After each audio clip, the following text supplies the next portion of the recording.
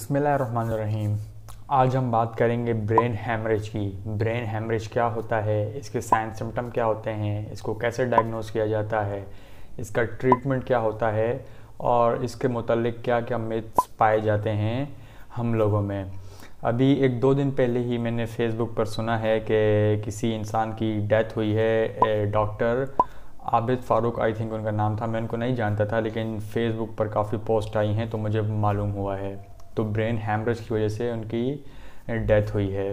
तो इस वजह से हम ब्रेन हैमरेज पर थोड़ी सी बात कर लेते हैं कि ये होता क्या है और क्यों होता है। तो सबसे पहले तो आपको नाम से ही पता लग रहा है ब्रेन हैमरेज।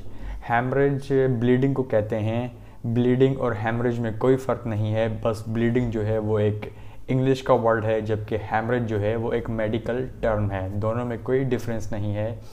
तो जब भी आपके ब्रेन में या आपके सर में या आपके ये स्कल के अंदर जब ब्लीडिंग होती है तो इसे ब्रेन हैमरेज कहा जाता है। और ये स्ट्रोक की ही एक किस्म है। फालिज आपने नाम सुना होगा तो ये उसका ही एक किस्म है। इसे मेडिकल टर्म में ब्रेन स्ट्रोक भी कहा जाता है।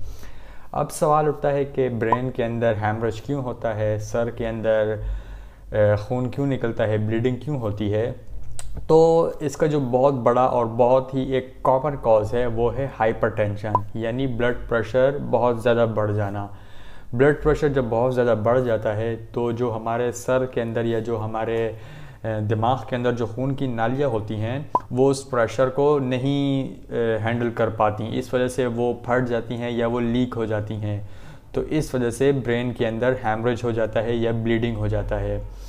फिर इसके अलावा अगर कोई ट्रामा हुआ है, कोई एक्सीडेंट हुआ है, किसी किस्म का भी एक्सीडेंट हुआ है रोड पर हुआ है और सर पर चोट लगी है तो ज़ाहिर सी बात है सर पर चोट लगी है तो अंदर ब्लीडिंग हो सकती है। फिर इसके अलावा जिन लोगों को ब्रेन ट्यूमर होता है, उन लोगों में भी ये पाया जाता है। और फिर इसके अलावा जो लोग ब्लड थिनर्स मेडिसन इस्तेमाल करते हैं, यानी वो खून को पतला करने वाली मेडिसिन लेते हैं, उन लोगों में भी ये थोड़ा बहुत पाया गया है कि उन्हें ब्रेन स्ट्रोक होता है।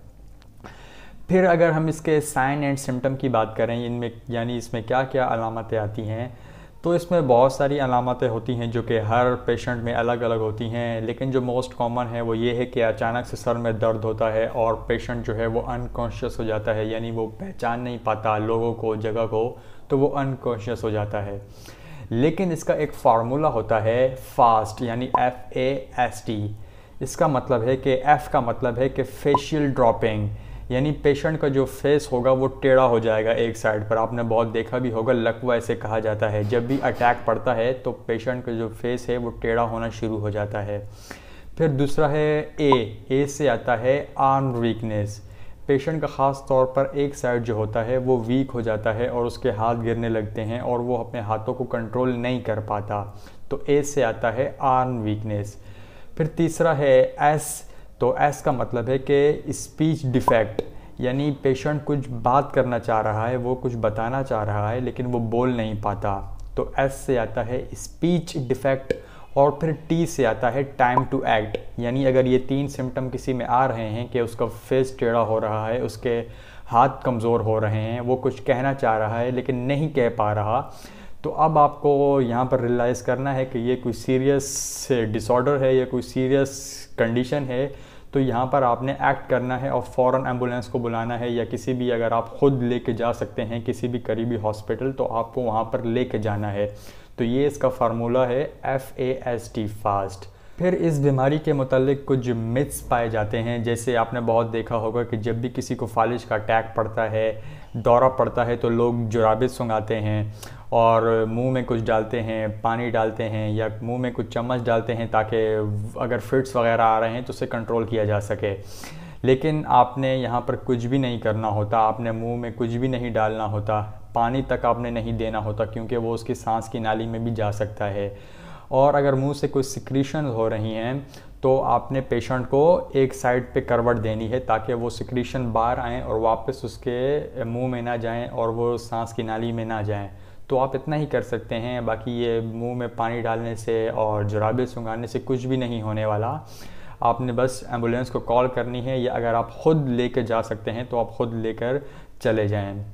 फिर अगर हम इसके डायग्नोस की बात करें तो इसकी जो सीधा मेन इन्वेस्टिगेशन होती है, वो होता है M R I and C T scan उससे मालूम हो जाता है कि ब्रेन में कहाँ ब्लीडिंग हो रही है और कितनी हुई है। तो इससे उसको डायग्नोस किया जा सकता है। फिर जो आम रूटीन के टेस्ट होते हैं, वो भी किए जाते हैं, लेकिन जो मेन सीधा टेस्ट है, वो सी टी स्कैन है या फिर एम आर आई है। फिर अगर हम ट्रीटमेंट की बात करें तो सर्जरी की जाती है। सर्जरी भी दो किस्म की होती हैं। एक तो एक मैन सर्जरी होती है, मुझे उसका नाम याद नहीं है, जिसमें सीधा ब्रेन को ओपन किया जाता है और जो क्लॉट होता है या कुछ भी प्रॉब्लम होती है, उसे ख़त्म किया जाता है। फिर एक दूसरी माइनर सी सर्जरी होती है, जिसमें सी एस एफ़ फ्लूड को कम किया जाता है। इस तरह से कुछ किया जाता है। उस सर्जरी का भी मुझे नाम याद नहीं है, लेकिन वो थोड़ी सी माइनर सर्जरी होती है। तो इस तरह से पेशेंट को ट्रीट किया जाता है और मेडिसन होती हैं, जिससे पेशेंट दोबारा रिकवर हो सकता है। फिर इसके अलावा जब पेशेंट रिकवर हो जाते हैं तो उन्हें काफ़ी, उनके अंदर कॉम्प्लिकेशंस होती हैं। फॉर एग्ज़ाम्पल किसी की बॉडी की एक साइड वीक हो जाती है वो अपना हाथ पाँव सही से हिला नहीं पाता तो ऐसे में फिज़ियोथेरापिस्ट की हेल्प ली जा सकती है ताकि दोबारा से रिकवर किया जा सके। कुछ पेशेंट जो होते हैं वो आ, सही से बोल नहीं पाते तो उन्हें स्पीच थेरापी की भी ज़रूरत पड़ती है ताकि वो दोबारा से अपनी स्पीच को रिकवर कर सकें। तो इस तरह से इसको ट्रीट किया जाता है। तो अगर आपका ब्लड प्रेशर हाई रहता है या आप बीपी के मरीज़ हैं तो आपको इस चीज़ पर बहुत ज़्यादा ख्याल रखना पड़ेगा, क्योंकि छोटी सी बीमारी है हाइपरटेंशन जिसे हम लोग बीमारी समझते भी नहीं हैं, लेकिन ये एक साइलेंट किलर है। ये इंसान की जो जान है, वो खामोशी से ले लेती है और इंसान को पता भी नहीं चलता। तो डाइट अच्छी रखें एक्सरसाइज करें और अगर आप ऑलरेडी बीपी के मरीज़ हैं तो आपको बहुत ही ज़्यादा केयरफुल रहना होगा।